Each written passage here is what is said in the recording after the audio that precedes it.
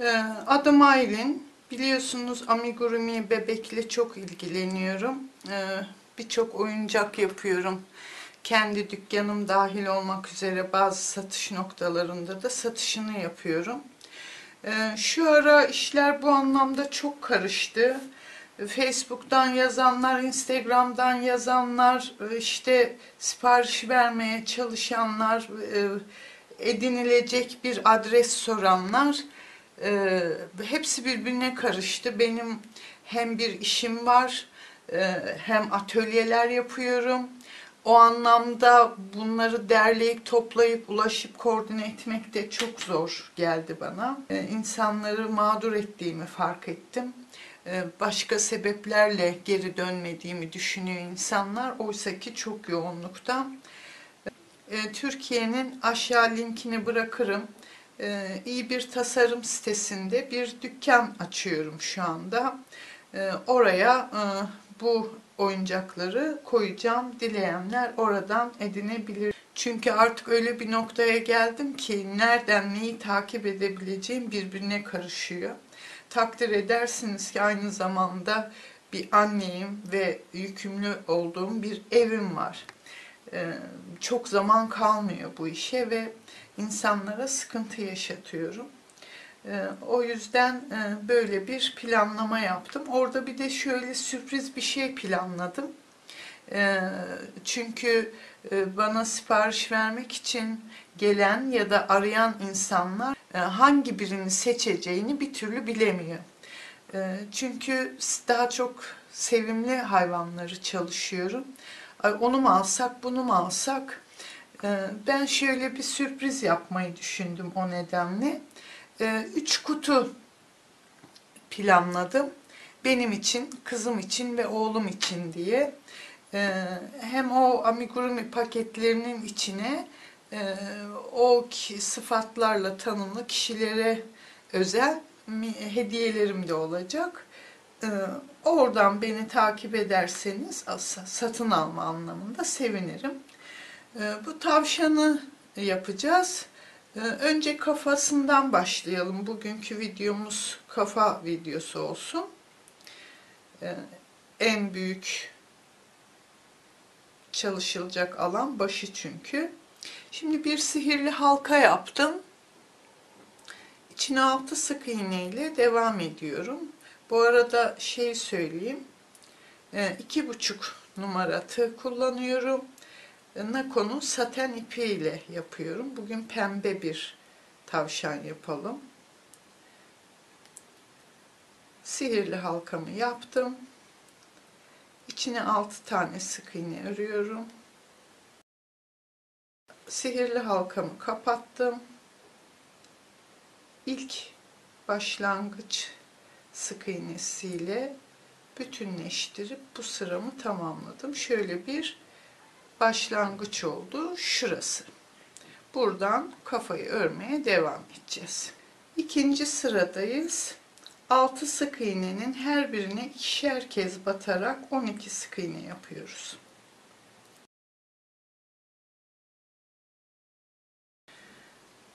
Yine başladığım noktada kapatıyorum. Bir üst sıraya geçtim. Ee, bir sık iğne bir arttırma şeklinde sıra sonuna kadar gidiyorum. Toplamda 18 sık iğnem olacak.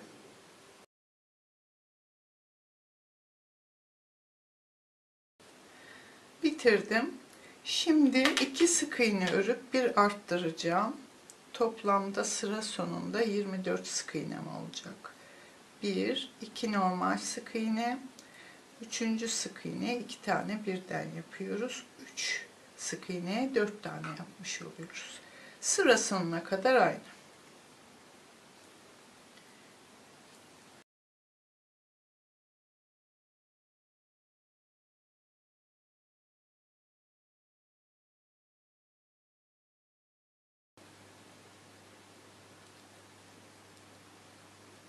Bir, e, bir üst sıraya geçtim. Şimdi 5. sıradayız.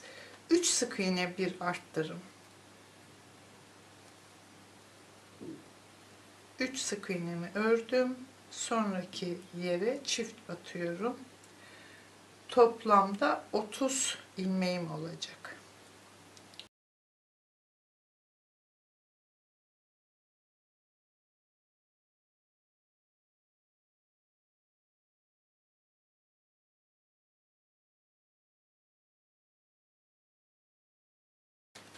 Bu sırayı da bitirdik arkadaşlar. Ee, şimdi 6. sıradayız. 4 sık iğne bir arttırım toplam 36 sık iğne.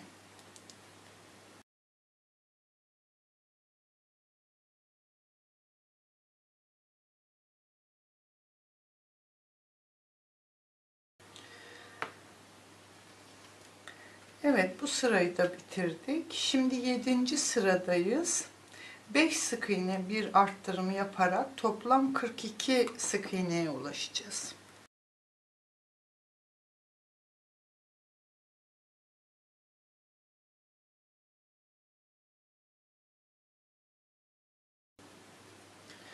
Evet bu sıramız da bitti. Şimdi şöyle çoklu iplerden oluşmuş düz iple amigurumi yapmak zor. Sürekli tığa takılıyor çünkü tel tel olduğundan. Ama böyle iplerle oyuncak da çok yumuşak oluyor. O nedenle ben örümü zor da olsa böyle ipleri daha çok tercih ediyorum. Evet bakalım kaçıncı sıradayız? 1, 2, 3, 4, 5, 6, 7. Şimdi 8. sırayı öreceğiz. 6 sık iğne bir arttırım yapacağız. Bu arttırımlarımızın son sırası olacak.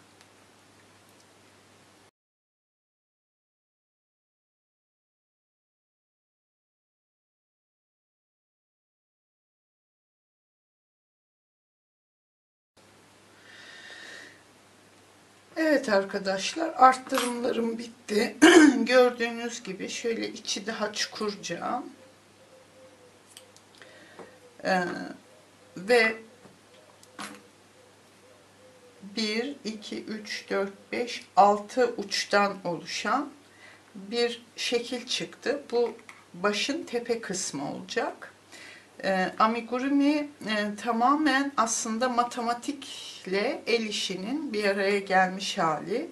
Onun için çok seviyorum. Ben normalde oturup işte yarım metre kol ör, şu kadar e, sırt ör, ön parça ör, yap bir hırka örgü sevmiyorum. E, amigurumi bana bulmaca gibi geliyor. E, çünkü altılı bir e, sayı sistemine tabi bir örme tekniği. Her sırası ayrı bir anlam ifade ediyor.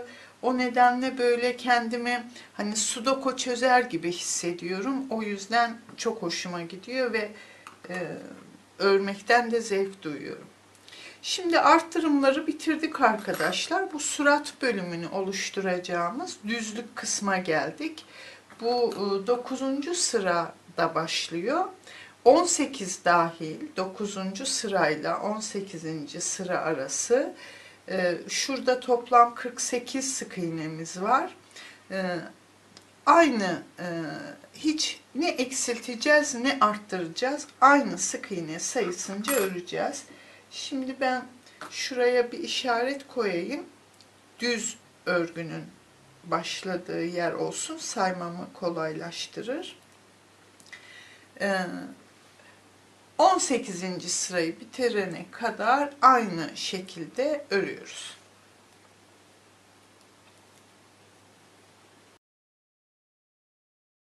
Hiç arttırıp eksiltmeden yaptık. Şu anda 18. sırayı bitirmiş olduk. Şimdi e, aynı şekilde burada yaptığımız arttırmaların aynısını burada eksiltme olarak yapacağız. 6 sık iğne bir arttırımla bitirmiştik. Onun için 6 sık iğne bir eksiltme ile e, eksiltmelerimize başlıyoruz. 3, 4, 5, 6 sık iğne ördüm. Bir sık iğneden bir kanat aldım. ikinci sık iğneden bir kanat aldım. İkisini bir ördüm, sonra bir ördüm. Eksiltmiş oldum. Bir daha göstereyim. Bir kanat birinden aldım, bir kanat birinden aldım. Şöyle oldu. İkisini bir ördüm. Bunu böyle ördüm. Böyle olunca e, görünen yüzeyde bir bariz bir görüntü olmuyor. O nedenle bazen böyle eksiltmeler deneyebiliyorum. E, 6 sık iğne bir eksiltle devam ediyoruz.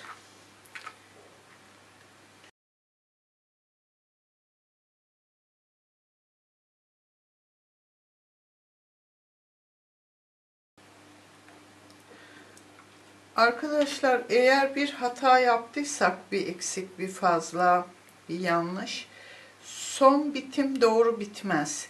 Mesela ne demek son bitim doğru e, olma hali? Şimdi 6 sık iğne bir eksilt yapıyorduk. Eğer sayılarımız doğruysa 6 sık iğne bir eksilt yaptığımda sıranın bitmiş olması lazım. Eğer bu işleme yetmiyorsa ya da artık ilmek kalıyorsa hata var demektir. Şimdi geçtik öbür sıramıza. Burada da gerisin geriye gittiğimiz için 5 sık iğne bir eksilt yapacağız.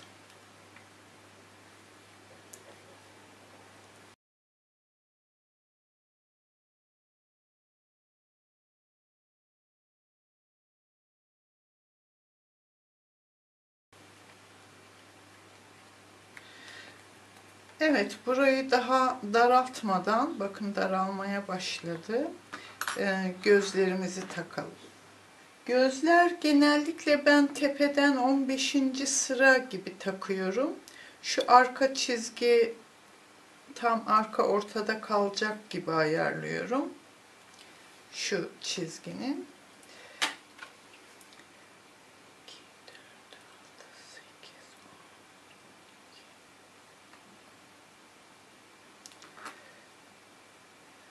Şurası iyi mesela.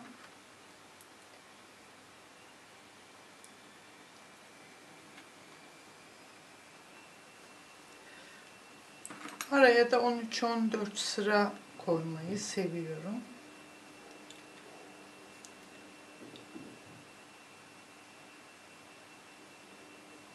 Şurası yeterli olur tahmin ediyorum.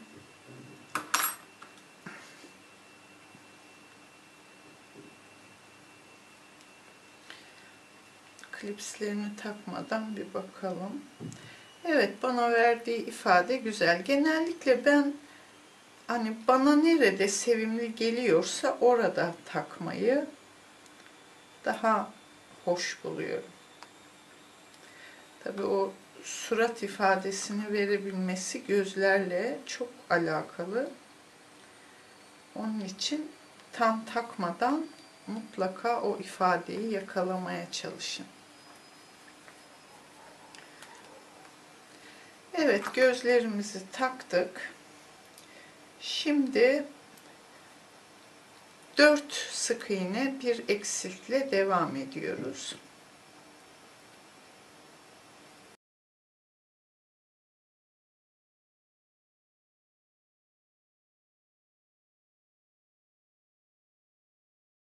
Üç eksilt kes. Bir diğer sıra arkadaşlar 3 ee, sık iğne bir eksilt. Sıra sonuna kadar.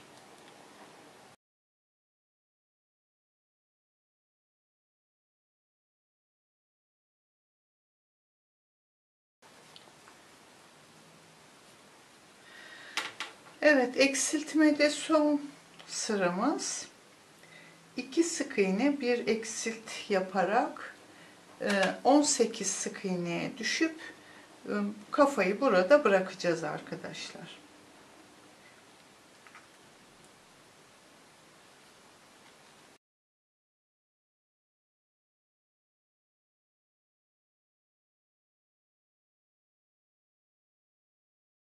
Şimdi elyafla doldurumunu yapalım.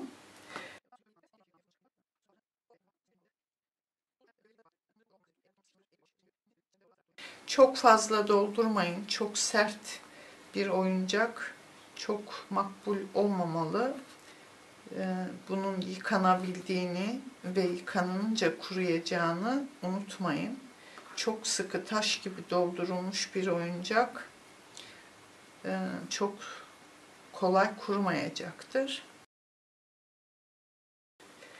Ee, boynunu ve gövdesini de yapacağız. Şöyle göstereyim size.